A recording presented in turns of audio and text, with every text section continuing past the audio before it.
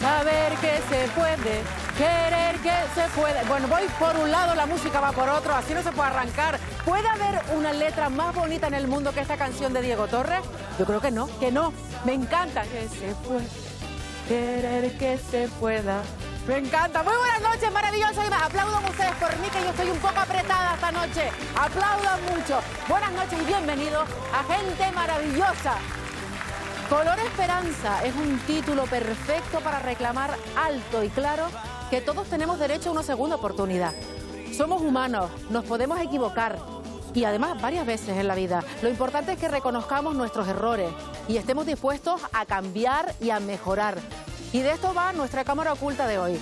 Recreamos el caso de Paco, un hombre de 58 años que ha pasado 23 en la cárcel y que en la actualidad lucha por encontrar un trabajo y llevar una vida completamente normal. Atentos a este avance. Nos pareció un poco extraño de que en tu currículum hubiese como una pequeña laguna de cuatro años, como que durante cuatro años no trabajaste. Mira, yo he estado en ese, en ese tiempo, estuve preso y me tocó pagarla. Cuando te hicieron la entrevista, tú lo dijiste. Yo no creo en la rehabilitación, una persona como tú no cambia. ¿Qué imagen estamos dando como empresa? Estoy haciendo mi trabajo y he cambiado mi vida. Pero es que a mí lo que me sorprende es que con toda la gente que hay en el paro, que te hayan elegido a ti. Me está pasando un poco. Estoy aquí y me iba a ir para afuera por no decirte nada. Porque él es una persona normal como todos nosotros. Su pasado su pasado y punto. ¿Tú quién eres para decirle a él que no lo cambias? Que nadie te diga lo que tú tienes que ser.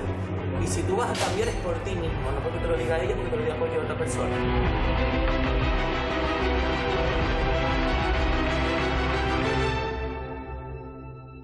Maravillosas las reacciones de esta noche. Enseguida vamos a verlas. Y, maravilloso nuestro padrino de hoy también. Miren, les voy a dar unas pistas. Él es periodista, su voz se hizo muy conocida gracias al programa Callejero. Controla a la perfección la temática de hoy y es que ha grabado reportajes en las cárceles más peligrosas del mundo.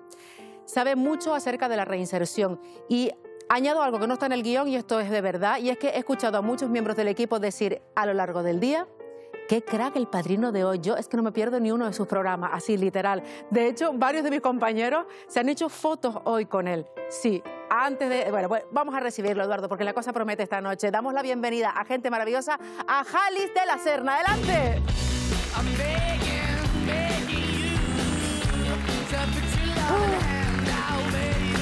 Caballero, muy ¿Cómo buenas estás? noches. Vamos a ponernos en los puntos porque Vamos, nos matan. a tope. Bienvenido. Esto que acabo de decir no es peloteo y es real. Bueno, Tienes al equipo estar aquí. revolucionado. Por eso hay tanta gente hoy aquí. Normalmente no hay tanta gente. Encantadísimo de estar este aquí. tío es un crack, este tío. Todo el mundo, ¿eh? Sí, Todo sí, el mundo. bueno, encantado de estar aquí. Tú fíjate qué maravilla venir al paraíso a participar de gente maravillosa. Así que mejor no se puede estar. Muchísimas gracias. Porque ya, vosotros. te lo- ya los tenías contigo, ya te los terminaste de ganar Bueno, a todos, que lo vamos. sepas. Disfrutando mucho de la isla, Bueno, de la climatología, de las playas, de la, bueno. de la gastronomía. Encantado. Y de la gente maravillosa. Esta noche Hombre, creo que lo vas a disfrutar y nos vas a enseñar muchísimo esta noche. Sí. Bueno, Jali, yo me atrevo a decir que es la persona que, que más cárceles ha visitado en el mundo. ¿Cuántas aproximadamente? Yo habré estado en unas 15 cárceles, mayoritariamente de Latinoamérica, también alguna en España. Pero sí, eh, la verdad que ha sido parte de mi trayectoria profesional. Bueno, pues hablaremos de esa trayectoria profesional y en concreto de esa experiencia tuya en, la- en las prisiones de todo el mundo, porque también nos vas a dar esa perspectiva esta noche de la de la reinserción. Yo me imagino que habrás conocido muchísimos casos, Ali, casos increíbles, eh, y, y me imagino que habrás hecho el seguimiento de, de- de esos presos también. Pues sí, la verdad que a lo largo de mi experiencia grabando en, en las cárceles de Latinoamérica, pues tuve la oportunidad de, de convivir mucho y muy de cerca con las personas que estaban cumpliendo condena después de haber cometido un error y he podido presenciar pues un poco pues esa, esa esperanza que al final tienen todos de tener una segunda oportunidad, como, como vamos a ver en el programa de de, eso hoy. vamos a hablar hoy, sí señor. Pero antes hay que abrir nuestra ventana al mundo. Claro, ya te aviso que vas a alucinar. Te vamos a sorprender, pero para bien. Me está diciendo Edu, el director del programa, que estés muy atento. ¿Ah? Porque dice que él sabe de muy buena tinta que alguna cara conocida vas a encontrar ¿A ¿Dónde? en el público virtual de Gente Maravillosa. Ah, sí, venga, pues Sí, vamos a verlo. ese tremendo pantalla. Vamos a saludarlos. Buenas Vale. noches, público de Gente Maravillosa. Buenas noches. ¡Ah! Mira, Bueno. en directo todo. Muy buenas noches. Y esto no, esto no solo en Canarias, esto es desde todas las partes del mundo. Así que abre los ojos. Increíble, estoy abriendo. Busca, Estoy abriéndolos. busca. Estoy buscando. eh, Muy buena. Algo tendrás que encontrar. Y no tardarás mucho, ¿eh? no lo sé, o sea, es, es el tipo. Hombre, está Brasero ahí. ¿Dónde? Braser, ¿qué pasa? ¡Ah, Roberto, buenas noches! qué bueno, qué bueno. Roberto Brasone, buenas noches. Ah, qué bueno, Robert. Eh, El hombre, ¿Qué el hombre del tiempo, Hombre, el está- hombre del tiempo de Antena Jota, 3. está Jota, está Jorge. Roberto, ¿qué tiempo va a ser el próximo fin de semana? bueno, ¿verdad? Va a ser un tiempo. ¿Sabes qué pasa? Que estando en Canarias, bueno, el tiempo está- Silva el, también. el buen tiempo Marquitos, está Marquitos, ¿qué garantizado. pasa, tío? Qué bueno. Diego, ¿qué pasa, Nino? Qué bueno, qué bueno. Muchos amigos. Hola, Anda, mi sobrina Leonor, mi hermano César. Qué bueno. ¿Qué tal? Hombre, López y Tantien. Qué, ¿A guau, quién? increíble. El López y Tantien, Ah, que, bueno. que soy su tío papa. Ah, ¿en serio? Bueno, pues es lo que te digo, que, que la cosa iba de sorpresa esta Qué bueno, noche. joder, qué sorpresón. Increíble, qué fuerte. No, no- no bueno. lo esper- no lo esperaba para nada. ¿Qué tal, Carlitos? ¿Qué pasa? Muchos ¿Quién besos a Carlos? todos. Carlos es el que está haciendo así ahora, que está justo, ¿ves a Roberto? Ah, sí, sí, sí, Abril? sí, sí, Pues sí. justo debajo. Ah, vale, Roberto. Hola, qué, Qué bueno, qué bu- buenísimo. Bueno, pues nada, que gracias a todos por estar ahí. Bueno, que sepas que tenemos un público muy interactivo que está con Nacho, nosotros. está Nacho también, Nacho Medina, compañero de toda la vida. ¿Y quién es Marco? Marcos es el que está a la derecha de Brasero. Y, y, Jaime el, el que está a la el siguiente casilla a la derecha. y J. Abril a la izquierda, también Sí, presentador. también, Ay, mira, también, es que claro, claro, que son muchos. Claro, claro, muchísimos, muchísimos. Es difícil. Oye, es que, es que de verdad que no me dan los ojos para ver tanto. Total, y me van diciendo a la izquierda, a la derecha. Qué bueno, qué bueno. Mi, mi, mi primo el Gusi también. ¿Qué me dices? Sí, sí, muchísima Gusi? gente. El Gusi, sí, sí. Bueno, se llama Gonzalo, pero familiarmente se le apodo Gusi. Sí, bueno, sí. pues el Gusi también saludado. Gracias por estar con nosotros esta noche. Gracias a todos, Es una noche especial para nosotros porque la verdad es que tener a este hombre aquí lo vamos a exprimir como una buena naranja. Qué bueno. Vamos a sacar todo lo mejor de ti y voy a seguir abusando de tu confianza. Muy bien. Porque, ¿sabes qué pasa? Que te voy a pedir una cosa, te voy a pedir que des paso a la cabecera, si no, mm, si no oficialmente no arranca el programa. Y quiero que lo hagas Vale. con ese tono tuyo tan personal, ese tono de, de reportaje, de entradilla que tú le das a las cosas. Muy bien. ¿A qué cámara lo hago? A aquella, a las seis. ¿Aquella? Perfecto. Bueno, pues vamos a asistir a partir de ya a un programa que saca lo mejor de nosotros mismos, a un programa que nos enseña que hay muchas personas que merecen la pena. Comienza Gente Maravillosa. ¡Gracias, Ali! Vamos. a conocer a toda esta gente maravillosa, gente cercana, apasionada, nuestras historias. Desde tu casa con tu familia. Ay, Ali, hoy tenemos un programa muy social. Sí. Y si hay algo que te caracteriza es ese, ese periodismo tan comprometido que te gusta hacer. La verdad que menuda trayectoria la tuya. Bueno, la verdad que sí, tuve la suerte de, pues casi desde el principio de mi carrera, después de varios programas así un poco más dedicados al entretenimiento en Antena 3 de la época, pues empecé a trabajar en, diversos programas de corte social que iban desde los sucesos a hacer reportajes en, zonas comprometidas, en zonas complicadas y tal, en las que había déficit social. Y a partir de ahí empecé a hacer reportajes y la verdad que, que, bueno, pues por ahí fue mi trayectoria. A partir de Callejeros pues ya fue una especie de eclosión laboral. 20 años haciendo reportajes, Ali. Sí, sí, más ya, Eh, yo creo que bueno, más. Sí, sí. Sí, la verdad que sí. Con esta, esta barba blanca viene, viene de algo al final, ¿no? Llevamos toda Bueno, en Tierra Hostil, Sí, en Tierra eh, Hostil, enviado en- especial, encarcelados. eh, encarcelados. Eh, no sé, si se me deja alguno detrás. Bueno, te has enfrentado a lo largo de todos estos años a momentos súper delicados, momentos muy peligrosos, momentos muy arriesgados. ¿Alguna vez has temido por tu vida? Pues la verdad que sí. Eh, hay que pensar que hemos estado en lugares como la República Democrática del Congo, denunciando pues, en qué condiciones se extrae el coltán con el que se fabrican los teléfonos móviles, y también en la anterior guerra que hubo en Ucrania, en la guerra del, del Donbass, en 2014, estuvimos en la ciudad de Donetsk y era un momento en el que había pues una situación previa a esta situación de, de guerra absoluta que hemos vivido, eh, por desgracia, pero era una situación en la que bueno, pues ya había escaramuzas en la calle, había momentos de guerra de guerrillas y tuvimos la oportunidad de hacer un reportaje ahí y sí que tuvimos momentos en los que nos encañonaron eh, varias veces al día. La verdad que sí que hemos pasado momentos de, de tensión. Wow, que nos encañonaron, es, es increíble. Estamos viendo imágenes precisamente de una de, de tus en- una de tus entradas a una cárcel, si no me equivoco, ¿verdad, Ale? Sí, esta es una cárcel que hay en... Estos encarcelados, ¿verdad? Estos encarcelados, sí. Esto en concreto es la entrada en una cárcel de Colombia. Que, que, bueno, pues eh, este es el control de seguridad, el acceso, donde pudimos conocer a muchos españoles que estaban cumpliendo condena. Y la verdad que al ser nosotros, es- esto en concreto es una entrevista que le hicimos a Popeye, que era uno de los narcotraficantes, bueno, es una de las personas de, de confianza de, de Pablo Escobar, una persona que reconocía haber participado en, en- en 500 asesinatos, una barbaridad así, a lo largo de su vida, incluso de forma material, haber participado en 250 muertes.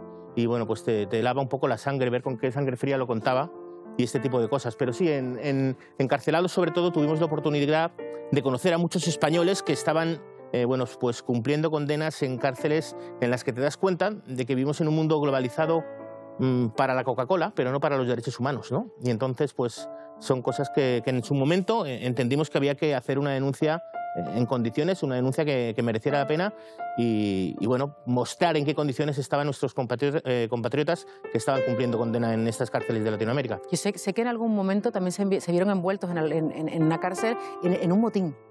Sí, en, una cárcel que estuvimos en La Paz, en, en Bolivia. Eh, bueno, pues precisamente un poco los que mandaban en la cárcel, la situación penitenciaria en, aquel momento en Bolivia era muy complicada, porque realmente los que mandaban en las cárceles eran un grupo de presos. O sea, había unos funcionarios y tal, pero ahí un poco los que decían lo que se podía grabar y lo que no eran los propios presos los que decidían hasta dónde podíamos entrar con las cámaras.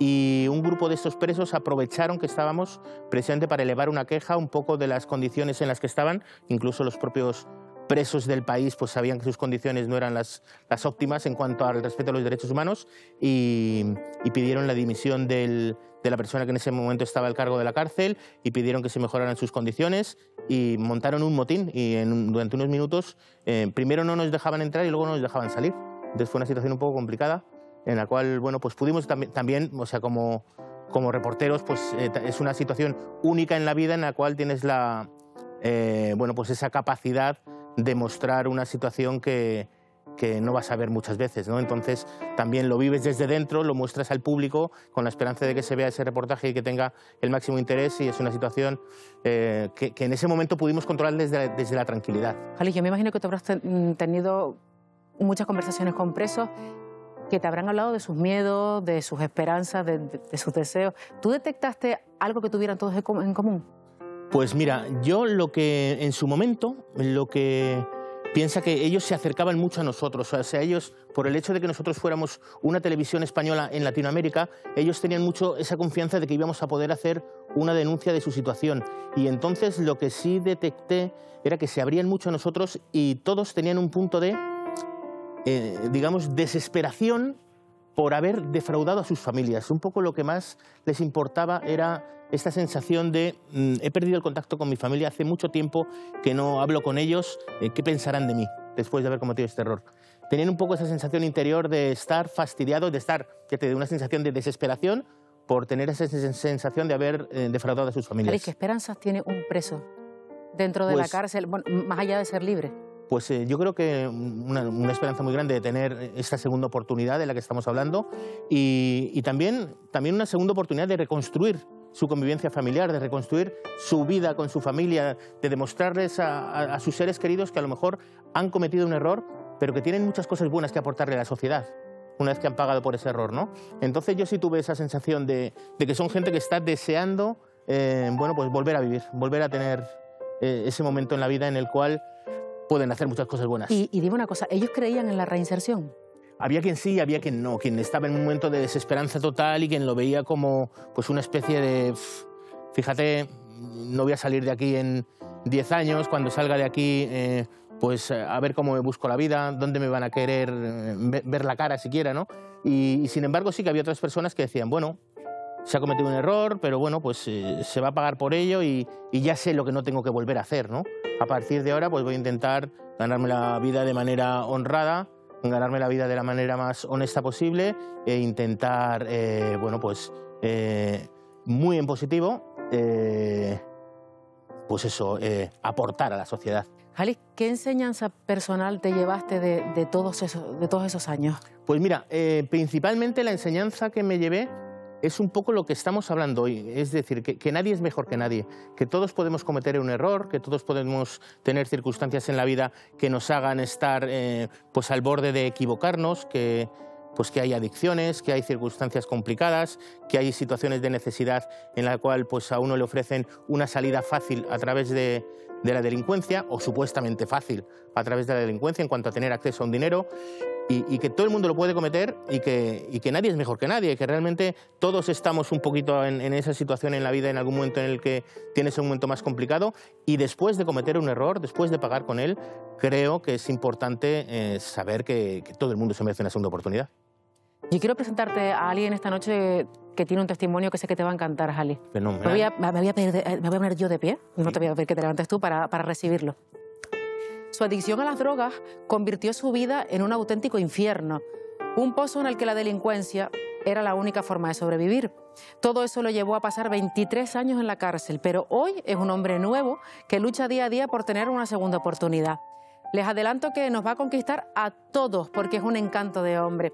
Además, no se pierdan el temazo con el que va a entrar al plató porque es uno de sus grupos favoritos. Un aplauso enorme para recibir a Paco Peña. Su corazón es indomable y no me quiere. Esto, esto, esto se merece una sonrisa, por lo menos.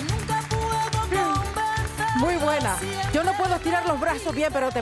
Muy Bueno, buena. Luis. Bienvenido. El hombre de las P, Paco Peña. Bueno, ¿Qué tal? mira, Paco, ¿cómo Jalis, estás? Paco, Soy Jalis, mucho gusto. Y yo soy, yo Mira, soy una amiga sen- azul. Muchas gracias. por aquí nos sentamos. ¿Cómo estás? Bien. Mira, yo quiero decirte una cosa. Eh, todo el equipo de dirección está alucinando con tu testimonio. Y, y contigo. Me dicen, te va a enamorar este tío cuando entra al plato de Lois. Vamos a ver si lo consigue. Por fin te arranqué una sonrisa, que estaba serio. Oye, ¿te parece, Paco, que contemos tu historia para que la entendamos todos, para que te conozcamos un poquito mejor? De acuerdo. ¿Te parece? Bueno, yo creo que me la estudié bien. Mira, tú naciste, Paco, eh, y te criaste en el seno de una familia numerosa y, y feliz. Sin embargo, a los 13 años comienzas a vivir experiencias que posteriormente marcarían tu vida.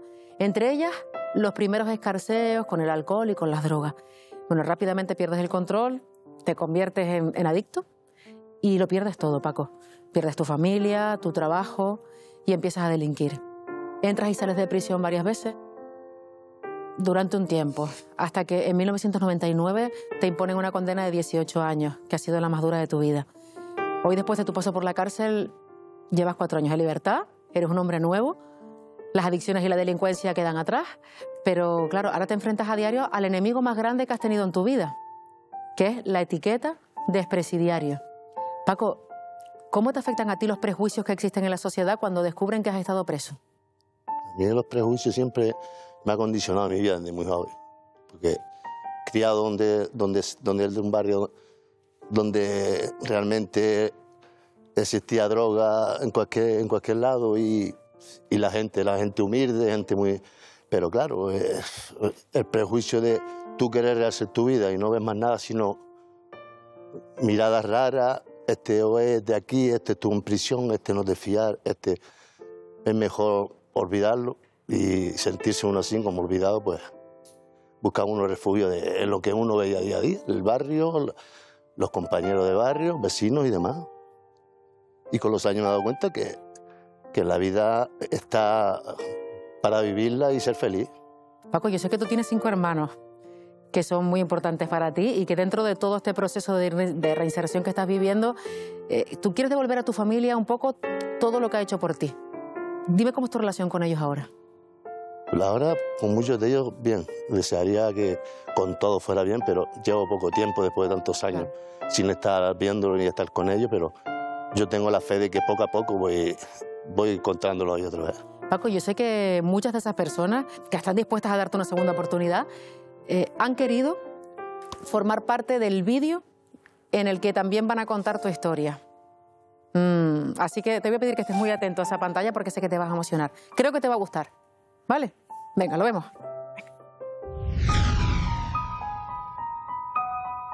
A sus 58 años, Paco Luis ha pasado la mitad de su vida en prisión. Tras cumplir su última condena, su reinserción en la sociedad no está siendo fácil. Tiene que enfrentarse a un mundo en el que, en demasiadas ocasiones, se siente rechazado.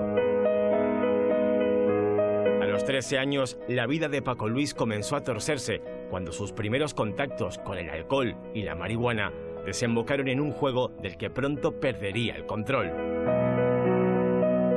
Paco Luis empezó en el mundo de la, de la droga y empezó con, con un porrillo, me imagino. La gente lo, lo veía, se lo decía a mi madre y mi madre, la verdad, como madre, era incrédula, no, no, no decía, pues, me voy a, a informar y tal, ¿me entiendes?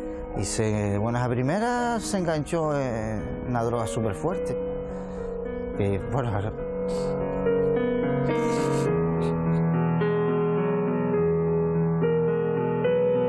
La adicción a las drogas llevó a nuestro protagonista a iniciarse en la delincuencia y siendo tan solo un niño, Paco pisó una cárcel por primera vez. No sé si fue con 16 o 17 años. Fue la primera vez que lo, lo detuvieron. Le cayeron seis meses.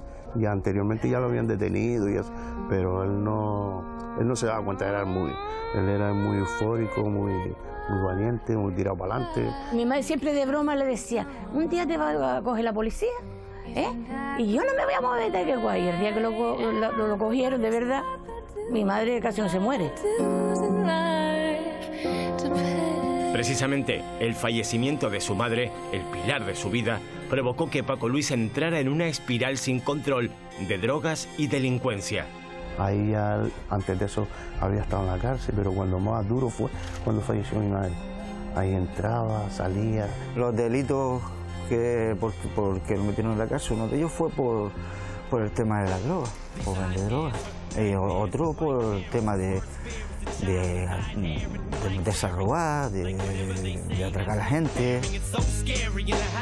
Hasta que en 1999, una acumulación de delitos llevó a Paco Luis a cumplir una condena que le cambiaría la vida.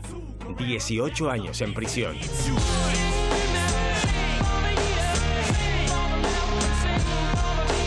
Hace cuatro años que Paco Luis cumplió su condena.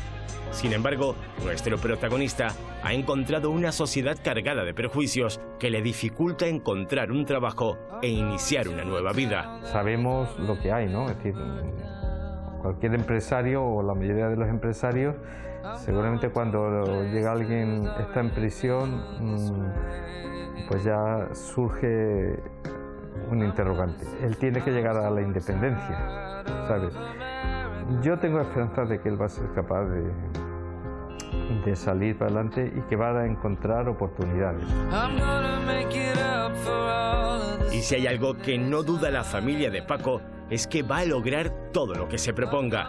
El camino está siendo difícil, pero ellos estarán siempre junto a él. Mi madre seguramente, bueno, seguramente no, seguro que se, se sentiría súper contenta, bueno, como si la viera ahora. Sería lo, lo más, porque ella era ella, es él y ella. Mamá está súper contenta, tú lo sabes. Y si hubiera estado en el mundo, mucho más. Nosotros venimos de, de luchadores y tú vas a luchar porque se te ve y tú me lo ves y me lo cuentas. ¿Vale? Te quiero.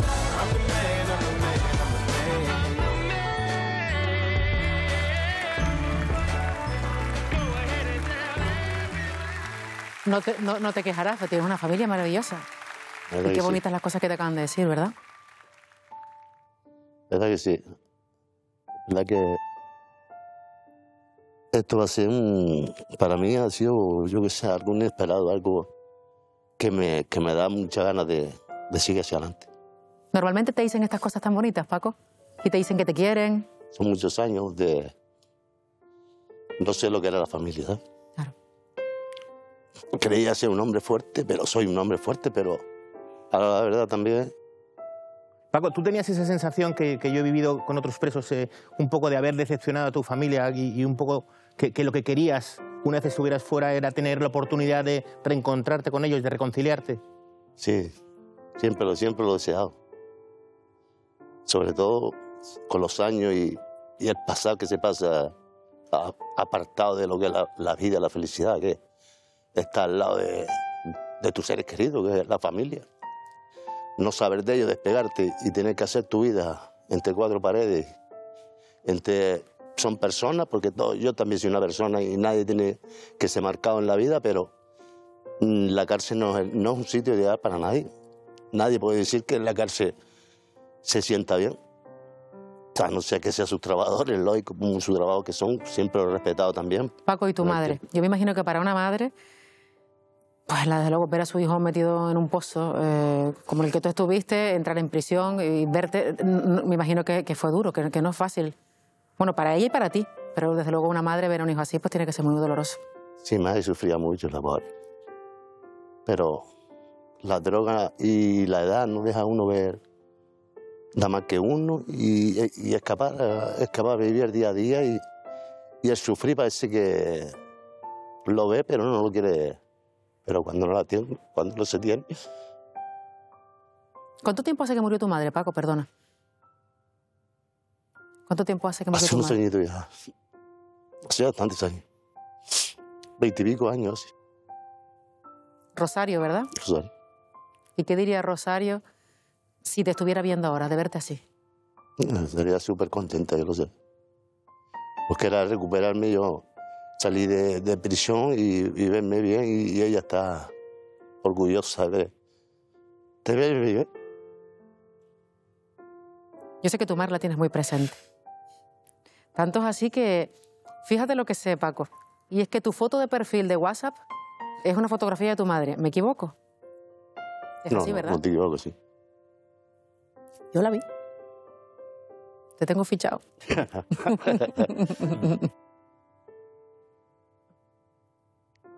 La verdad que no me esperaba. Pero esto, todo, todo esto tiene que ser sano, porque yo sé que como persona y ser humano que soy, todos estos sentimientos es bueno sacarlos. ¿Tú ya habías entrado en prisión cuando falleció Sí, tu madre? sí. Había entrado siendo menor. y Pero- Lo que es la vida es en un barrio donde, donde la juventud lo único que ve es la droga. Y, y si te droga, eres el- uno de los chachis. Cuando te metes en el mundo de, de los demás, pues no, no Bueno, esas drogas, las adicciones, eh, los delitos, todo eso es lo que te lleva a la cárcel. ¿Cómo, cómo, cómo vives esa primera vez que entras en prisión? Para mí, con la, con la edad que tenía, no, era, no, no fue miedo, no fue, no fue nada. Fue una cosa de que mm, para mí no fue realmente porque en el mundo que estaba viviendo sabía que tarde o temprano iba a caer en prisión. No, ten- no encontraba trabajo, no tenía. Pues sabía que tarde o temprano en prisión. La prisión la tenía ahí. Por el hecho de mi casa se veía, era salir de mi casa y de frente se veía la prisión. Sabía que mucha gente del barrio habían caído y que la prisión estaba ahí. No era un temor, pero sé que a partir de entrar a prisión marcó mi vida, marcó mi vida total. Y ya luego pues, otra vez a hacer todo un círculo. Mi vida ser siempre un círculo. Verme bien, pero sabía que volver otra vez a lo mismo y aunque fuera la prisión, no me importaba nada. Paco, tú a los 35 años te condenan a 18. Casi media vida después llega la ansiedad de libertad. Pero claro, ahí te encuentras con un nuevo enemigo, que es la discriminación por tener una etiqueta. De esto trata nuestra cámara oculta esta noche. Que además protagonizaste tú. Lo hiciste muy bien, por cierto. Pero como Jalís no la ha visto, yo quiero que veamos un adelanto, ¿vale? Es un pequeño avance y luego la vemos entera, ¿vale? Venga. Aunque tú te hayas presentado a la oferta laboral que viste, ese tipo de cosas hay que decirlas. Tú ten en cuenta que al final somos una empresa muy pequeña y tenemos que confiar en nuestros trabajadores. No por mí, que la verdad que me da miedo, sinceramente. Tienes derecho a reinserción también. Yo no creo en la rehabilitación, una persona como tú no cambia. Y nosotros estamos, te enviamos a ti a, lo- a las casas de, nuestros de nuestros clientes. ¿Qué imagen estamos dando como empresa? Perdona mi niña, es que llevo escuchando un buen rato y.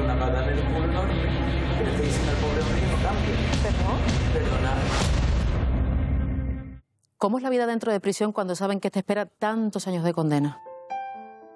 Yo para cuando me vi con tantos años de condena, yo realmente algo dentro de mí me decía, vamos ver si llego al final, a ver si llego. Intentaba, porque la prisión te tiene que hacer fuerte, porque si no te hace fuerte, te pierdes los valores realmente como, como ser humano, porque te hace un pelele, como, lo- como mucho, o te hace, o te hace fuerte, o que fue lo primero que hice, físicamente sentirme fuerte y, y luego echar el tiempo para atrás e intentar hacer las cosas lo mejor posible. Paco, y, y dime una cosa, sé sincero, ¿tú creías en la reinserción? No o sea, tú tenías la esperanza de cambiar tu vida de una vez por todas. Yo no, de, de principio con los años sí que fue que fu- fui yo mismo haciéndome un pensamiento de tengo que cambiar, tengo que cambiar, tengo que, de alguna, de alguna manera he de cambiar. Y sé que se puede cambiar, se han cambiado otros, porque no voy a cambiar yo? Y sobre todo, pero claro, tantos años apartado de mi familia ya me hice un mundo a mí, yo solo, yo solo, yo solo, aunque dentro de mi corazón siempre quería estar al lado de mi familia. ¿eh? De hecho, el primer día que llegué aquí, cuando se me, se me aportó la, la oportunidad, las personas que me, hoy en día me tienen en el programa donde estoy, pues me ofrecieron venir para acá y, y, vi- y vine, vine. Dije, bueno, ya puedo ir, tengo casa donde ir, tengo, y, y creo que tengo que ver a mi familia antes que Dios me lleve. Pues y hoy en día me siento bastante feliz y bien viendo. Y ¿Cuál ha sido la mayor dificultad con la que te has encontrado en todos estos años, en estos cuatro años que llevas en libertad? A mí la- la- la- de buscar lo que es una estabilidad, una- tener un trabajito, buscar ser una persona diferente, ser una persona, sentirme querido y sentirme una persona que, que- que aunque me gusta ser feliz a la gente, ver esa felicidad y ser una persona estable. Que acabas de decir encontrar un trabajito. Está claro que tener un trabajo es lo que te integra en la sociedad. Absolutamente, ¿no? Absolutamente, claro.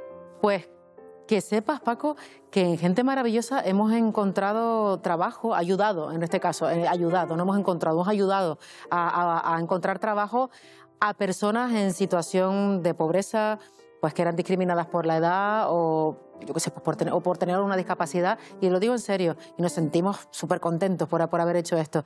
A mí me encantaría poder recuperar bueno, si se puede, algunas de las imágenes de esos momentos en los que le comunicábamos a, esta gente que, bueno, pues que se le iba a hacer una entrevista de trabajo, que se les había conseguido un trabajo, que le iba- les iban a dar una oportunidad. Dime si las buscamos.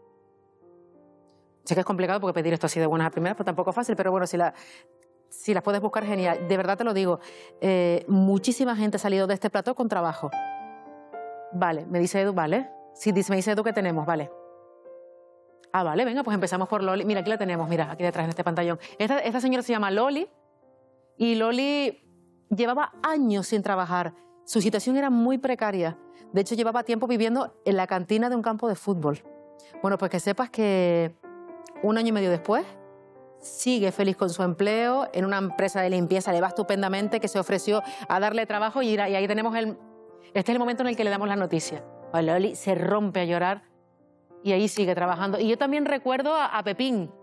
No sé si tenemos las imágenes de Pepín. Bueno, Pepín, me encantó este, este hombre. Y fue precioso porque el padre vino a contarle a Pepín que tenía trabajo. No se lo esperaba. Pensaba que era una broma, que no le estábamos diciendo algo real. Momentazo, Consiguió ¿no? un empleo eh, en una empresa de mantenimiento, de jardinería, concretamente. Pero hace apenas tres meses vivimos un momento que fue espectacular en este plato, Paco. Espectacular. Se llama Patricia, una chica con discapacidad. Viene a contarnos mm, que, por- que ella vive en una silla de ruedas y por vivir en una silla de ruedas no consigue ningún trabajo. En directo, en el programa, recibimos una llamada, la llamada de Nardi Barrios, y mira, aquí la tenemos. Y le ofreció trabajo y meses después consigue trabajo y ahora mismo sigue trabajando también en una empresa eh, y nosotros estamos felices de haber conseguido esto. Ayudamos, si se puede ayudar, no conseguimos trabajo. Ayudamos y si se puede ayudar, pues fantástico. Y te digo, estos han sido eh, tres casos eh, pues donde le hemos echado una mano a la gente. ¿Viste? Estas cosas pasan también. Dicen que todo lo que sale en la tele es mentira. No, a, No, veces, no pasa, a veces pasan cosas que son verdad. Totalmente. Y empezamos, la, eh, empezamos el programa con la canción, no sé si la escuchaste, la de Saber que se puede. Color Esperanza se llama la canción. Me gusta. Esperanza, la esperanza no se pierde nunca. Dime, Edu. La esperanza y la fe no se puede, no se puede perder nunca. Espera, espera, porque me está diciendo, vale. Vale, me está diciendo que se, se acaban de personar dos hombres en el plató, pero dentro. En el plató de gente maravillosa, vale, que están en la puerta del plató. Vale. Vale, que les dejamos entrar porque... vi- Vale, porque... Bueno, pues no, no tengo ni idea, espérate, porque dice que hay dos hombres que están en la puerta del plató que vienen porque te quieren decir algo. Tú dime... eh, ¿Están preparados para entrar? Sí. Está... Vale. Bueno, pues que entren los dos hombres misteriosos, a ver. Que entren. Que entren por donde quieran, pero que entren.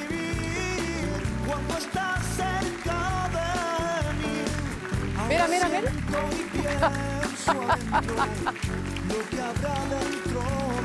Muy buenas noches. Bienvenidos Cristo y Tony. Tony. Es Tony. Te Cristo. quiero, ¿eh? Oye, ¿cómo se parecen, eh? Pero se Hola, parecen hola, una barbaridad, hermanos, por supuesto. Se ve que son hermanos, sí. Pero vamos. Bueno, buenas noches, bienvenidos. Muy buena. Muy buenas. ¿qué Gracias por estar aquí, gracias por ese vídeo que hicieron. Tus hermanos, Tony y Cristo. Cristo y Tony, que vienen de sorpresa al plató de gente maravillosa. ¿Tú te esperabas esta? Ni de broma. Verdad que no. Pero no me miras a mí, míralos a ellos. Verdad que no. que te da más vergüenza mirarlos a ellos que a mí. Bueno, que ellos vienen con dos mensajes. El primer mensaje es algo que le tienen que decir. Algo le quieren decir a, a este hermano, porque están orgullosos de Bueno, él. se lo digo yo, que estoy muy orgulloso de él, que quiero que siga así, que ya es hora de que cambie. ¿Sabes? Que la vida no es la que llevaba él, que él tiene que llevar la, la vida como una persona normal, que él es bueno, es buen hermano. Y que él que lo quiero Y que estamos contigo ya.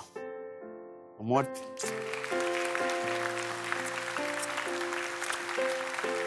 Y tú lo sabes, que estamos con él. Porque él, él no es el- lo que lo ha traído mal ha sido la droga. Porque él no es así, ¿sabes? La droga cambia, lo cambia mucho. Pero mucho, mucho. Y él sabe, él sabe, yo creo que él sabe hasta dónde llegar ahora. La droga, la bebida, todo. Me ha dicho una persona que no quería ser nunca, pero. Pero bueno. Hoy soy diferente. Hoy soy la persona Nunca que. es tarde que cuando la dilla es buena. Él sabe lo que tiene que hacer y él sabe que nosotros mejorando día a día y, y ser fuerte, que él es fuerte. Es más fuerte que yo. Bueno, ese es el primer mensaje. Y la segunda misión, yo me imagino que te habrás fijado, porque esa percibidita no pasa, es que tienen una tremenda caja ahí en, la- en las rodillas. ¿Verdad? Yo le estoy echando el ojo desde hace un rato, pero no tengo ni idea de qué puede haber ahí dentro. Pero bueno, antes de abrir la caja, hay un mensaje. Un mensaje muy claro y muy directo para Paco. ¿Qué es? Díselo tú. No, díselo tú, Cristian. No, díselo tú. Venga, se lo decimos los Los dos. dos. Una, dos y tres. Ya tienes trabajo. ¿Cómo? Ya tiene trabajo. Ya tiene trabajo. Eh, pero sin abrir, sin abrir la caja. Espérate, porque esto lo tengo que digerir yo. Yo creo que es más que tú. Tú acabas de escuchar lo que te acaban de decir. Sí, sí, ¿Qué acaban de decir? que tengo un trabajo. Pero parece que lo dices sin convicción, como que no te crees lo que te están diciendo. No, sí, sí. Yo sé que crees lo que te estoy diciendo, pero por si acaso, por si las moscas, yo quiero que estés pendiente a esa pantalla gigante que tenemos aquí, porque hay un mensaje que te va a confirmar lo que te acaban de decir tus hermanos, ¿vale? ¿Lo escuchamos? Venga.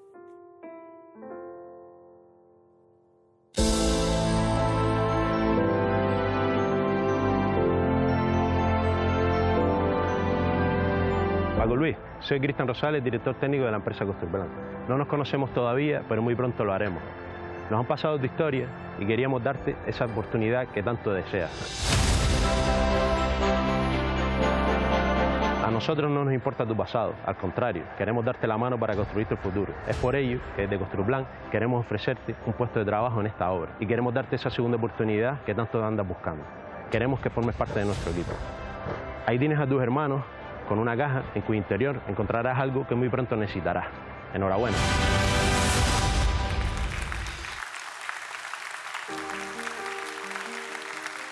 Ahora llega el momento de abrir la caja. Acabas de escuchar el mensaje, ¿no? abrir? ¿La abrimos, Eduardo? Sí, pues venga. 3, 2, 1 y abrimos la cajita. A ver qué tiene. Parte Porque yo del no sé lo que tiene. Parte del lepio. ¡Ay, que tienes el equipaje dentro! No me lo puedo creer. O sea, casco. Bueno. Esto es todo lo que tú necesitas para tu nuevo empleo. Todas las medidas de seguridad, mira, creen en ti y les da igual tu pasado. Exactamente igual. Y ellos te quieren dar esa segunda oportunidad. Maravilloso. Es maravilloso, ¿verdad? Que es ¿Estás maravilloso. contento? Sí, claro que sí. Esto hay que cogerlo con muchas ganas, Paco. Y mirar para adelante y cogerlo con todas las fuerzas del mundo. Y esto te va a ayudar a todo. El trabajo es lo mejor en la vida por uno olvidarse de los problemas. No, estás claro. como en shock, ¿no?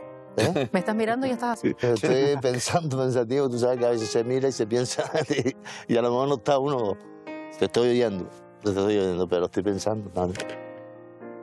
Bueno, pues me alegra mucho que estés contento y, y nos encanta ayudar en el programa a la gente si se puede. Y a trabajar. Y a trabajar, porque... No, es verdad que un trabajo es, es lo que necesita todo, toda, toda persona para, para poder tirar, para poder tener, Para poder vivir. poder Y esta imagen de los tres es muy bonita. Yo sé que Rosario, desde donde esté, es- se sentirá súper orgullosa de ver a la familia unida. Esa madre tiene que estar por ahí viéndonos esta noche. Y ella va a estar muy orgullosa de lo que estás haciendo y lo que estás consiguiendo. Y no, que no te quepa la menor duda. Y de verlos a los tres juntos. Y que es trabajadores. como debe ser. Hay que trabajar. Mira yo que me dejo los cuernos en este programa. Luego te cuento chistes los domingos. ¿Qué te crees tú? bueno, bueno, pues nada, con este, con este buen ambiente y con este buen, con esta noticia tan buena que, que, no- que nos acaban de dar y una noticia tan esperanzadora, eh, ¿vemos la cámara oculta? ¿Sí? Vale, venga, pues me levanto y la presión. Oye, me- todo el rato levántate, siéntate, solo me hacen trabajar a mí. ¿Te tocado? Da paso tú a la cámara oculta. Es broma, broma. Según el Ministerio del Interior, siete de cada diez presos que salen de la cárcel no vuelven a delinquir una vez que cumplen su condena. A pesar de estos datos, para un expresidiario, la reincorporación a la sociedad es algo muy complicado. A la dificultad de volver a retomar su vida, se unen los prejuicios que le impiden encontrar un trabajo. Bueno, pues basándonos en el testimonio de Paco, hemos recreado una cámara oculta en la que una mujer no quiere trabajar con una persona que ha pasado por prisión y está dispuesta incluso a que le despidan. ¿Existirá alguien en Canarias, personas maravillosas que crean en las segundas oportunidades? Bueno, pues vamos a comprobarlo. Prejuicios y posturas discriminatorias y estigmatizantes complican a menudo la reinserción social de las personas que han pasado por la cárcel. Es el caso de Paco. Paco nació y creció en un barrio obrero de Las Palmas de Gran Canaria. Desde muy joven, influenciado por personas cercanas, entró en el mundo de la droga y ha estado cuatro veces en prisión. Los años en la cárcel le sirvieron para reconducir su vida, pero al salir de prisión se vio muy desorientado, sin trabajo y sin oportunidades para empezar desde cero.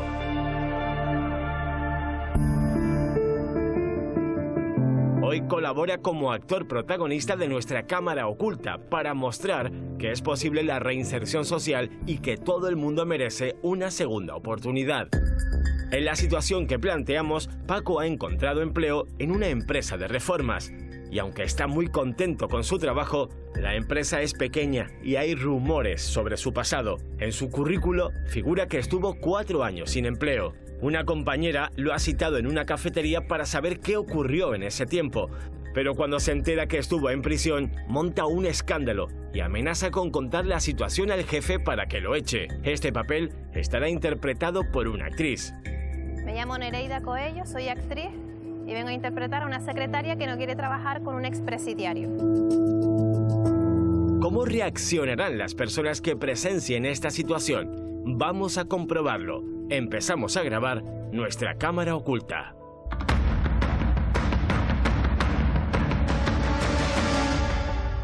Hoy nos acompaña en el control de realización el presentador de televisión canaria Juan Antonio Cabrera. Nuestra actriz espera a Paco, un compañero de trabajo con el que lleva mucho tiempo trabajando. Laura, sí, mira, ¿recuerdas el tema de Paco? Sí, el chico nuevo. Sí, sí, la gente está muy contenta con él, con su forma de trabajar y tal, pero quiero hablar con él a ver si es verdad. Es que Marta me dijo el otro día de que por lo visto vio algo en el currículum de él y me suena muy extraño y quiero preguntarle a él directamente a ver si es cierto o no. Entonces, lo he citado aquí a ver, a ver qué me dice. Sí, sí, no te preocupes que yo luego te cuento. Venga, hasta luego. Paco llega a la cafetería y se sienta junto a nuestra actriz. Perdona que he llegado un poquito tarde, pero que estaba, estaba liado en el, en el No, no te preocupes, haciendo. no te preocupes. Sí, pero es que eh, ayer no me quedé conforme con lo que había terminado y pasé ahora mismo por el sitio y me entretuve un poquito. Ah, vale, vale. Es que eso me habían comentado, que eres muy perfeccionista y que te gusta dejar las cosas bien hechas. Me alegro, eso es muy bueno para, es para que el trabajo. Así como se mantienen los trabajitos, haciendo las cosas bien Vale, hechas. vale. La actriz intenta averiguar el pasado de Paco. Realidad yo te he citado aquí porque se está comentando algo en la oficina y quiero saber si es verdad o no. Porque yo soy como un poquito cotilla, ¿vale? No, pero ahora en serio, el tema es que somos como una pequeña familia en la empresa y está bien que, no, que sepamos todos un poco de todos, ¿no? Y nos pareció un poco extraño de que en tu currículum hubiese como una pequeña laguna de cuatro años, como que durante cuatro años no trabajaste. Y en esta mesa, esta señora rubia está pendiente. Escucha, escucha. Sí, estuve, estuve enfermo. Una ¿Estuviste enfer- enfermo? Tuve una enfermedad donde tuve que recuperarme en ese tiempo. Vale. Paco es reticente a contar su historia, sabe que puede traerle problemas e inventa una excusa. Tuve que tener una, un- la rodilla, me, me operaron y tuve que estar un, un tiempito recuperando. ¿Y por eso estuviste tanto tiempo sin trabajar? Sí, claro. Claro, pues necesitaba recuperarme bien. tanto tiempo, qué, qué extraño, ¿no? Pero la actriz insiste, es demasiado tiempo sin trabajar. Cuatro años sin, sin trabajar, o sea, por el tema de las piernas, ¿hay algo más? Paco se ve entre la espada y la pared y decide confiar en su compañera y contarle su pasado en la cárcel. Mira, yo he estado en, este- en ese tiempo, estuve preso, ¿sabes? Estuve en prisión. Fue una situación que tuve de, de mi juventud y me tocó pagarla estando preso. Bueno, cuando te pregunté lo de los cuatro años no esperaba que me fueras a dar esta respuesta. Tú, eh, cuando te hicieron la entrevista, tú lo dijiste en la entrevista. La compañera no se toma en nada bien la noticia. La señora Rubia comenta con el chico de la gorra la situación. El, el señor estuvo preso y por eso no pueden darle trabajo.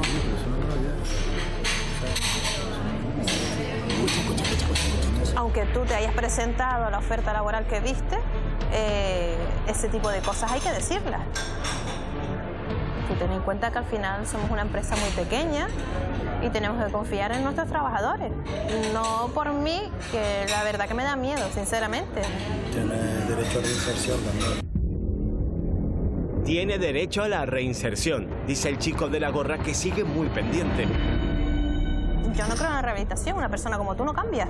Y nosotros estamos- te enviamos a ti a, la- a las casas de, nuestros de nuestros clientes. ¿Qué imagen estamos dando como empresa? En la mesa del chico de la gorra siguen muy atentos, pero de repente, quien nos sorprende es este chico de negro, que se gira y salta.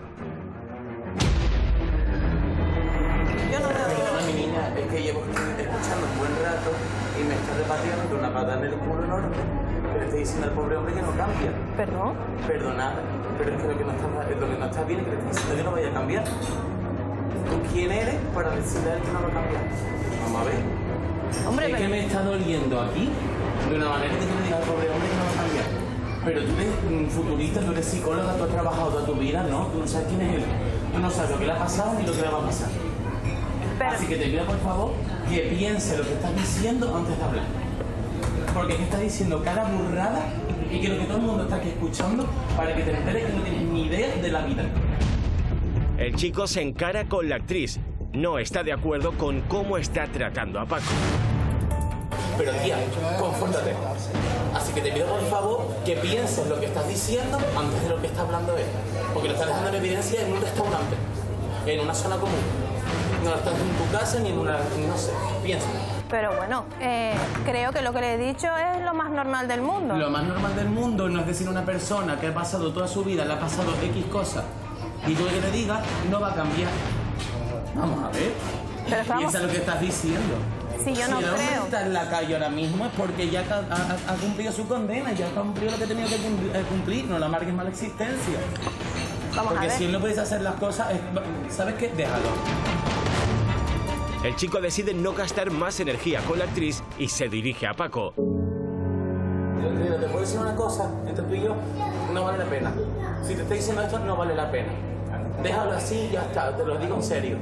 Cualquier otra cosa que una entrevista de trabajo. Lo que yo no eh, quiero, así. lo que yo no quiero es perder trabajo y yo creo sé que no quiero perder trabajo, pero para que te estés cachando y te esté diciendo que no vas a cambiar, tú sabes quién eres tú, lo que tienes que hacer y lo que vas a hacer. Y se acabó. Que nadie te diga lo que tú tienes que hacer.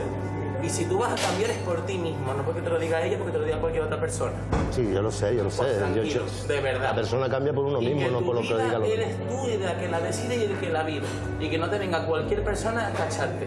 Porque es que tú no eres nadie y ella no es nadie para que te estén cachando. Derecho a rehacerte tiene. ¿A ti te parece normal? ¿Tú trabajarías con una persona que ha estado en la cárcel? ¿A ti te parece normal? ¿Tú trabajarías con una persona que ha estado en la cárcel? Sí, porque si está fuera es por algo. Pero tú vivirías tranquilo Yo sabiendo... sí. Porque yo sí. Ahora que tú no vivas tranquila no es mi culpa. Es que yo no lo veo, ¿eh? Te lo digo. Pues si no lo ves, ponte gafas. No, no, es que, mm, vamos a ver, él tendría que haber dicho desde el minuto uno que estuvo en la cárcel, cuando lo entrevistaron. La actriz no entra en razón y el chico de la gorra también interviene. ¿Tú sabes lo que es el derecho al olvido? ¿Sabes lo que es el derecho al olvido? Es que vamos a ver. No, pero ¿sabes lo que es el derecho al olvido? Una persona cuando comete un delito, de hecho, un delito que no es doloso, que es menos de X cantidad de años, tiene derecho a que se le olvide y a que sus antecedentes penales incluso se le borren y sea una persona sin ningún tipo de eh, sanción o a que arrastre ningún tipo de historia que en un determinado plazo de su vida, con 20, 25, 15 años, puede cometer o puede tener problemas, pero la reinserción existe. Y en las políticas criminales es lo mejor que se hace, reinsertar a una persona. Darle oportunidad de tener puestos de trabajo, de, de convertirse en una persona que vive en sociedad, en paz y en normalidad. Con los mismos derechos y deberes y obligaciones que todos los individuos que vivimos aquí en la sociedad. Que se lo den las ONG, pero la empresa no. El chico de negro apoya las palabras del joven de la gorra. Miren lo que añade. Cuando voy a contratar, yo no le pregunto si ha estado en la cárcel, si tiene hijos, si está casado, si tiene trabajo, si está trabajando. Nada. Pregunto por el servicio. Ya lo que haya pasado él es su vida. ¿Y ha hecho- ha bien su trabajo hasta ahora? ha hecho bien, tiene derecho a trabajar. Pero es que vamos a ver, es que la reinserción existe por algo. Entonces, cualquier. Haces un crimen y te quedas encerrado de lo que te quede de vida. Que las cosas no funcionan así. No sé. No ha dudado en saltar y defender a Paco, porque todo el mundo merece una segunda oportunidad. Salimos para decirle que es una persona maravillosa. Hola, ¿qué tal? ¿Cómo estás? Eres una persona maravillosa. Sí, señor.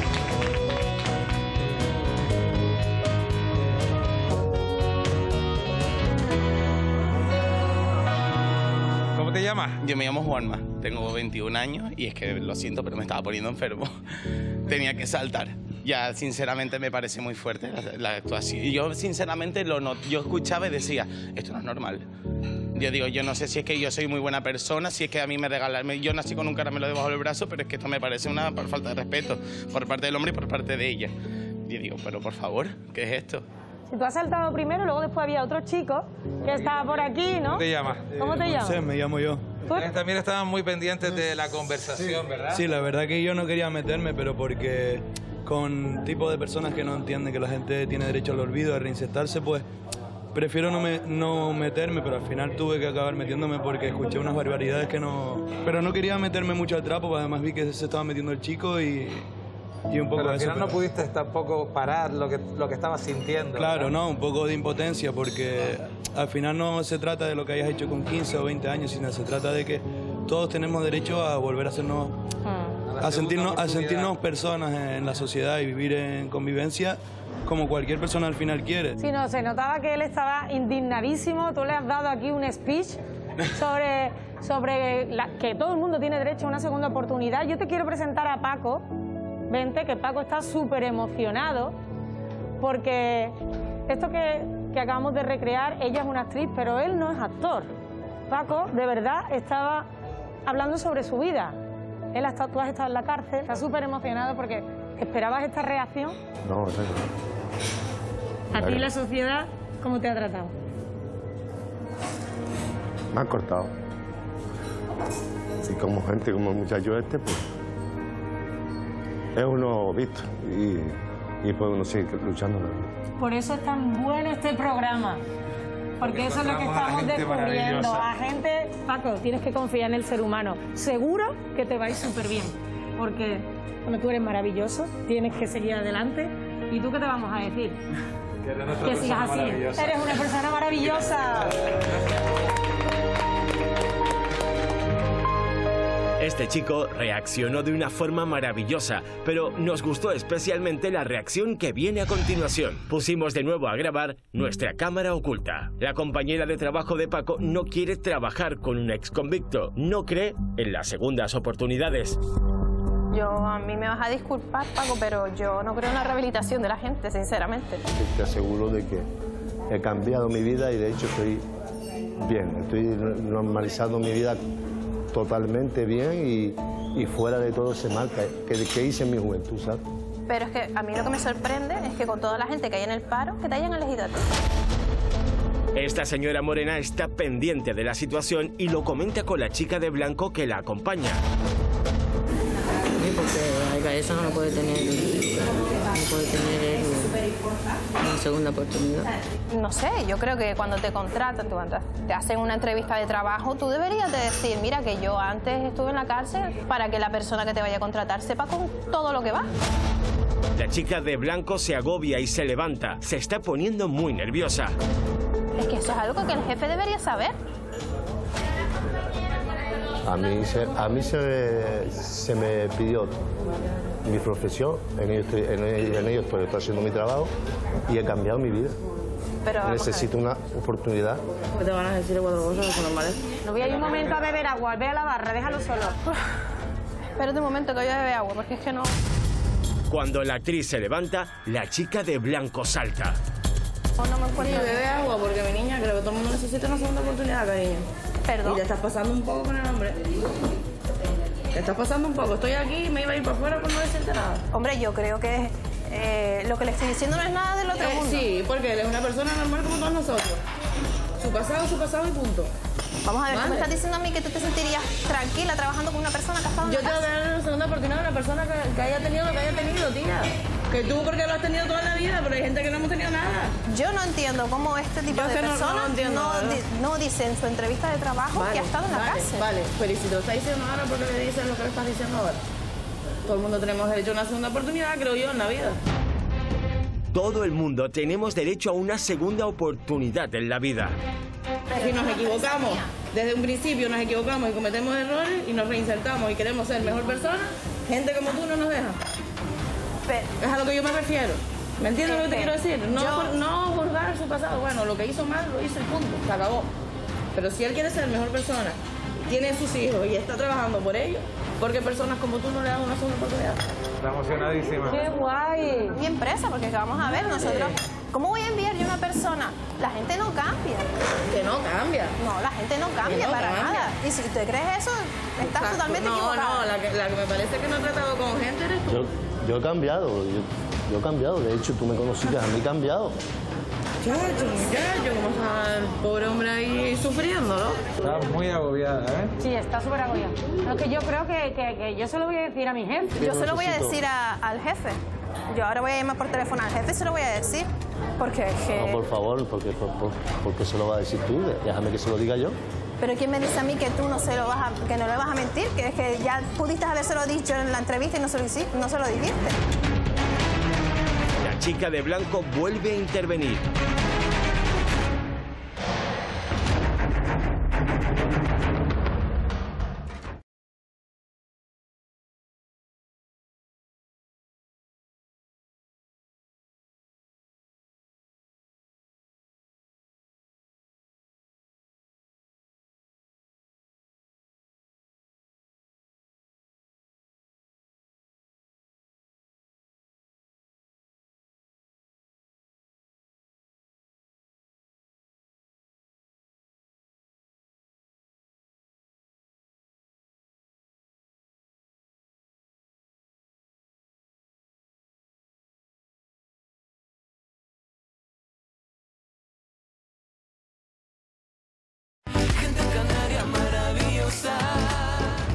Muy agobiada, ¿eh? Sí, está súper agobiado. No, es que yo creo que, que- que yo se lo voy a decir a mi jefe. Yo se lo voy a decir a- al jefe. Yo ahora voy a llamar por teléfono al jefe y se lo voy a decir. Porque es que... No, por favor, porque, por- por- porque se lo vas a decir tú. Déjame que se lo diga yo. Pero ¿quién me dice a mí que tú no se lo vas a, que no le vas a mentir? Que es que ya pudiste habérselo dicho en la entrevista y no se lo, hici- no se lo dijiste. La chica de blanco vuelve a intervenir. En ese, en en ese momento, perdona que me meta, en ese momento no mintió, ocultó algo, no lo mintió, porque él no le dijo nada de lo contrario. Ocultó algo, ¿por qué? Porque, sabía que la gente Es no a le iba a dar la oportunidad es que a mí no me dar. preguntaron ni nada. ¿Cómo voy a ir? Yo no estoy orgulloso de lo que. Claro que no, pero por, pero ¿por qué no lo dijiste? Porque sabías que si lo decías no nada de trabajo. ¿Es o no es? Tienes dos hijos que sacar del mundo en la vida. La chica de blanco, que está muy agobiada, se levanta para ir fuera a tomar el aire. Que crea las segundas oportunidades y que ha cambiado, pero, pero mira, perdona, perdona, es que... Sí, está No, mal, tío, porque yo también estaba sin tener nada y trabajando por 15 euros y se me rompía un vaso y lo tenía que pagar, ¿sabes? Y pasando hambre, ¿sabes? Tú no has pasado hambre como lo he pasado yo. La chica se marcha a la calle muy emocionada. Nosotros salimos para decirle que acaba de vivir una cámara oculta y que ella es una persona maravillosa. Hola, ¿qué tal? Eres una persona maravillosa.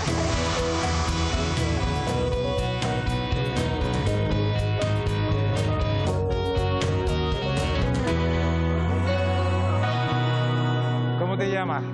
Miriam. Miriam, estás completamente emocionada. Sí. Me pareció súper fuerte la escena de que no le dieran una segunda oportunidad a alguien que ha tenido un pasado mal. ¿Y no has podido soportarlo? No. Has saltado porque Todos ya... somos personas. En este mundo y todos necesitamos una segunda oportunidad en la vida. Tú has dicho que además que tú conocías a gente, ¿no? Que había estado en la cárcel. Y que claro, que... Y es muy duro estar ahí. Es muy duro y salir de ahí y que todo el mundo te discrimine es muy duro también. Bueno, yo he pasado momentos difíciles también. Muy difíciles. Yo estuve trabajando también por 15 euros todo un día. Mis padres no tenían trabajo. Mi marido se buscaba la vida buscando chatarra. Y yo he pasado momentos difíciles, entonces me puse en el lugar y... Necesitamos a gente como, Como tú, ella. porque eres maravillosa. Eres una persona No maravillosa. Dame un abrazo.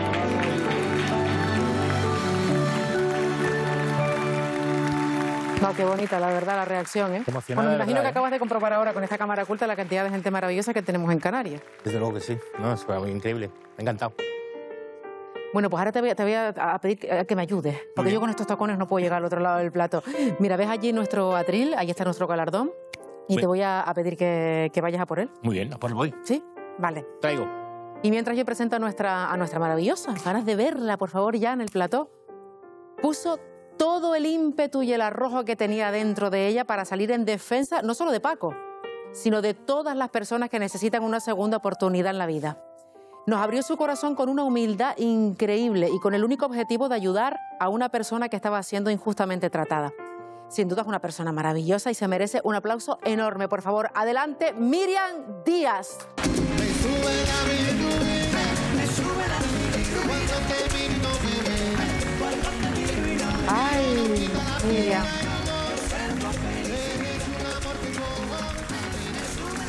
Buenas. Gracias. ¿Estás bien? Sí. Bueno, estás temblando, pero bueno, tú tranquila, ¿vale?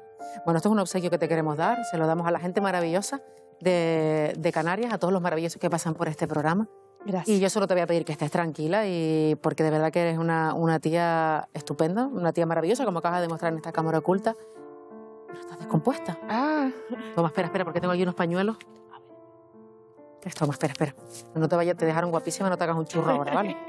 Porque me imagino que volver a escuchar esto, revivir lo que sentiste en ese momento, recordar la historia de Paco. Lo estaba viendo. Me tuve que ir. Me tuve que ir. ¿Qué, qué, Y lo duro es que hay gente que es así. ¿Qué fue lo que más te dolió de todo lo que escuchaste, Miriam? Ver cómo, cómo despreciaba a una persona por haber estado en la cárcel. Yo creo que si estuvo en la cárcel ya pagó lo que cometió. Ya pagó su error. Y todos tenemos una segunda oportunidad. Y la verdad que le decía cosas que yo no sé cómo aguanté, también te lo digo. No, estuviste muy bien, muy contenida y muy educada. Y dijiste lo que tenías que decir. Se le veía, se te veía realmente casi aliviada al final, ¿no? Cuando te dicen que eres una persona maravillosa y que era una cámara oculta, o sea, se te veía emocionada, pero casi Sí, aliviada, ¿no? Es duro. Bueno, Bastante Paco, duro. mm, menuda reacción, qué reacción tuvo, tuvo Miriam. ¿Alguna vez te han defendido en la vida como te defendió Miriam? Es verdad que no, en, un sitio así público jamás en la vida. Y, y ella se vio, me vio de alguna manera identifi- identificada eh, en, otra persona que quería de ella, pero seguro, porque y que lo que estaba diciendo también era fuerte. Yo se lo dije también a, la, a la actriz, se lo dije, eres, eres una fenómena porque eres buena. Pero yo no sé, yo eh, no te hubiera aguantado esto. pero realmente era, era, era su papel y era mujeres, personas así como ella y el muchachito, puede la gente tener fuerza en la vida porque, porque hay gente buena en este mundo. Por supuesto que hay gente Sí. buena y nosotros aquí Hay descubrimos que- muchísimo, claro que sí. Oye, tú dijiste varias veces en la cámara oculta, Miriam, algo así como que todo el mundo se merecía una segunda oportunidad y que, y que tú lo sabías, pero por propia experiencia. Lo que pasa es que no entendí muy bien a lo que te estabas refiriendo. No, sino por el- como el tema de él, de que había estado en la cárcel y tal. Yo conocí gente que estuvo en la cárcel y, y conocidos bastante cercanos y sé lo mal que se, se pasa en la cárcel. Y sé que lo mal que se pasa fuera de la casa cuando ella sale.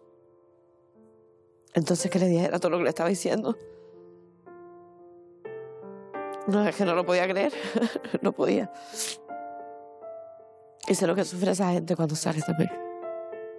Porque también te quiero arrancar una sonrisa, que no te quiero tener aquí como un paño de lágrimas. No traemos a nadie aquí para que sufra. Y yo sé que lo voy a conseguir. Sí. Y lo voy a conseguir con el vídeo que vamos a ver ahora. Vas a alucinar. Vale. Porque todo tu entorno, bueno, casi todo nos ha contado unas cosas de ti impresionantes. Una cantidad de cosas que te vas a echar las manos a la cabeza. Sí. Ah, son cosas buenas. Llega el momento de disfrutar, mira la pantalla, relájate y presta atención a lo que vas a ver, ¿vale? Vale.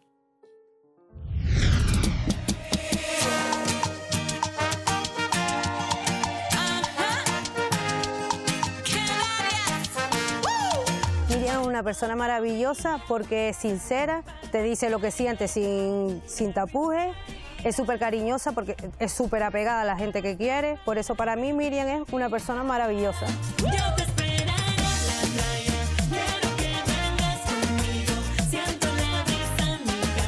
Miriam es de sincera, que no tiene papas en la boca desde, desde lo más mínimo te lo va a decir. No le importa la- lo que piense la gente. Ella si tiene que ir a decirte algo te lo va a decir y le va a dar igual lo que la gente piense. Llegó la mami, la reina, la dura, una Bugatti. El mundo está loco con este party. Las pasiones de Miriam son el mundo del motor. Siempre le ha gustado el mundo del motor, los rallies. Le encantan los coches, tanto cogerlos, porque todos los coches si la dejan los coge. Le gusta ir a carreras de coche. A ella siempre le ha gustado y iba con una prima que tenía el marido La Esperanza que corría con coches y eso, y siempre iban a verlos por la noche a entrenar. La cara de Miriam cuando va a un rally es, es pura emoción, como una niña pequeña. Para ella es su debilidad. La relación entre Miriam y Ainhoa, eh, que son hermanas, siempre ha sido un, un estira y encoge. La verdad que era un poquito fastidiosa porque éramos celosas las dos, sobre todo ella conmigo. Al ser la más pequeña siempre decía que sí, yo era la más que recibía. Sí, con todo, con todo lo que ella vea que a lo mejor eh, le dice más a una que a la otra, ya, es, ya son celos. Pero a día de hoy se llevan muy bien. Son hermanas muy unidas. De hecho, tienen niños, ¿sabes? Tenemos nuestros hijos, pues la verdad que eso nos las unió mucho más, ¿sabes? Y se ayudan mutuamente, se dan consejos, son muy buenas las dos.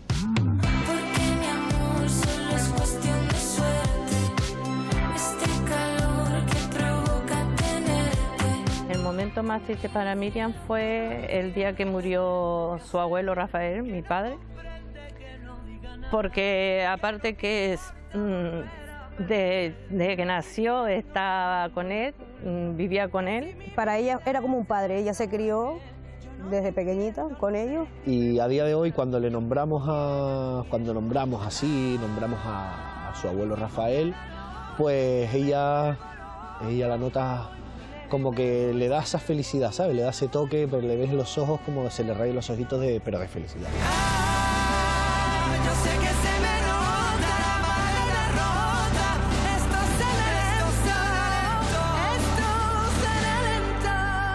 Miriam es maravillosa porque es una tía trabajadora, eh, humilde. Hemos atravesado momentos durísimos y siempre ha estado ahí. Es maravillosa, que, que- que como Miriam, como Miriam debería haber muchas personas más.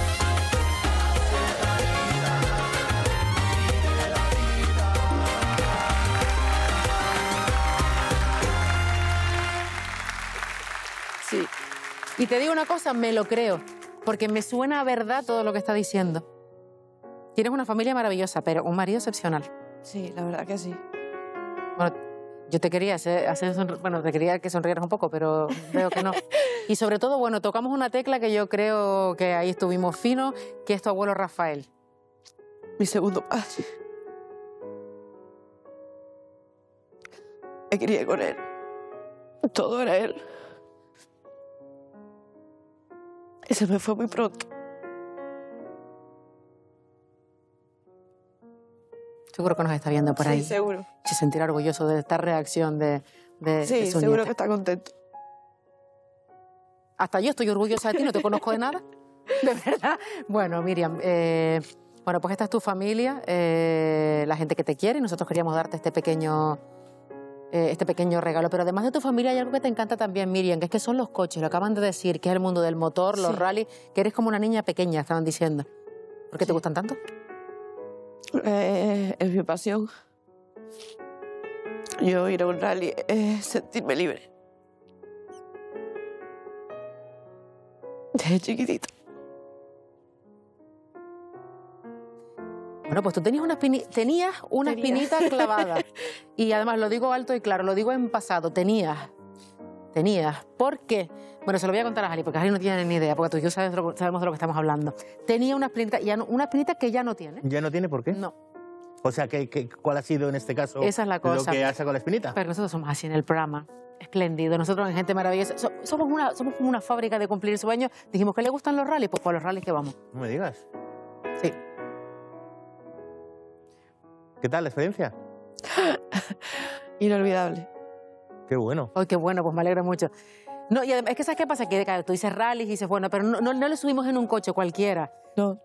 No, se trata de, un coche que es un súper deportivo, es uno de los, de los coches más codiciados del mundo, si no me equivoco, y es un ejemplar único en Canarias. Un Lotus.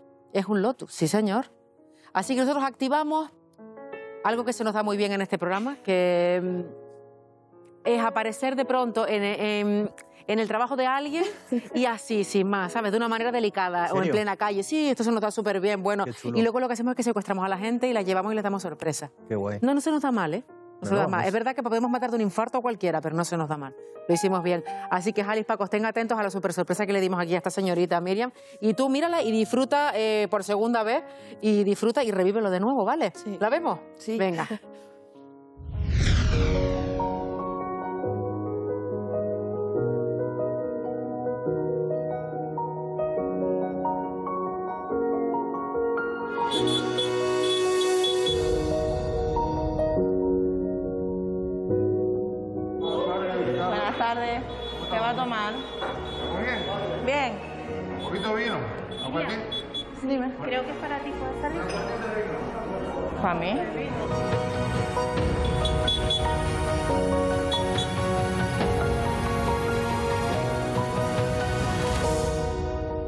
Miriam, ¿qué ves? ¿Qué estás viendo, Miriam?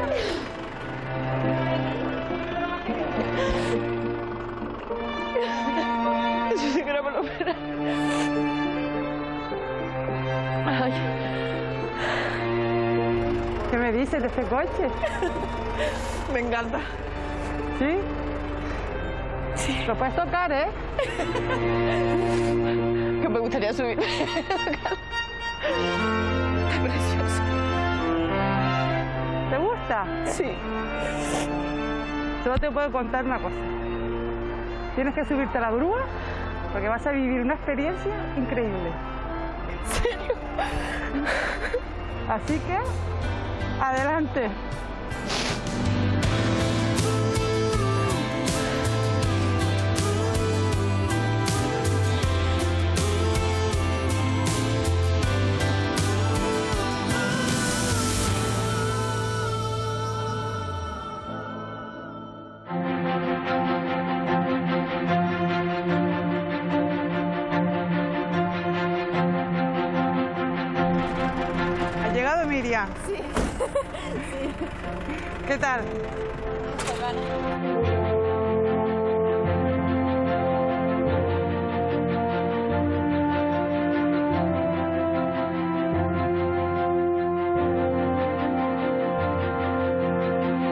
Miriam, te presento a Tony Gorrín, campeón de Canarias de montaña 2020.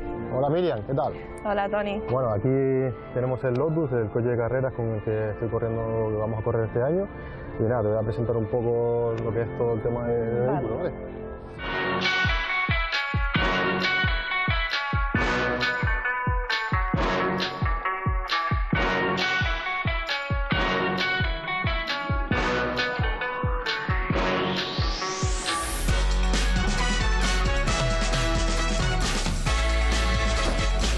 Bueno Miriam, pues ¿qué tal? ¿Qué tal te pareció el Lotus? Me ha encantado. Perfecto, ¿no? Sí. Una maravilla de coche, así que No, ahora toca darle caña, ¿no? Te- Tienes ganas ¿no? de darle Sí, bastante sí. caña.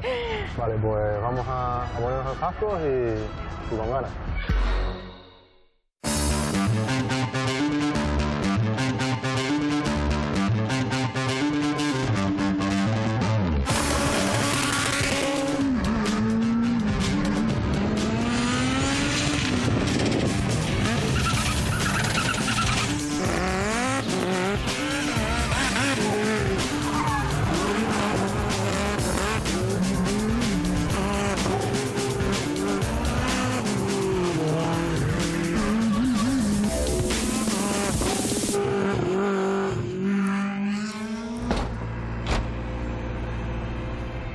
Tal te ha parecido la experiencia? ¿Bien? Espectacular, me ha ¿Sí? gustado ¿Te has sentido cómoda? Sí, Ah, pues bastante. Nada, en cuestión de, de regalarte eh, la camiseta como que te gustan los rallies y Gracias. agradecido por haberte subido con nosotros. Gracias, Vale. agradecida.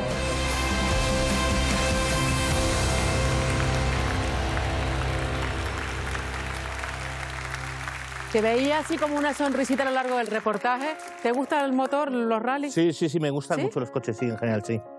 Sí, sí. Y se ve que es un, o sea, un pepinaco el coche, ¿no? O sea, era un, Un gran un pepinaco. carraco, ¿no? Un pepinaco, Sí, sonaba sí. a pepinaco. Sí, sí. La manera de arrancarlo. La sensación dentro de libertad, como dijiste antes, Sí. ¿no? Me imagino. Espectacular. Oh, qué maravilla. Yo no quería que se acabara. No quería bajarme el coche. O sea, que de las mayores experiencias de tu vida. Sí. Qué bueno. Pues me alegro que Me formemos parte de eso. Para que te lleves un buen recuerdo. Que, ah, que no acaba la cosa aquí. Claro que sí. Y eso que yo la iba a despedir, ¿no? Ah, vale. Vale, me está diciendo que durante todo el reportaje alguien dice que estuvo viendo muy atento tu, tu día de rally. ¿Mm? Vale, no tengo ni idea, cuéntame. Vale, pues ese alguien.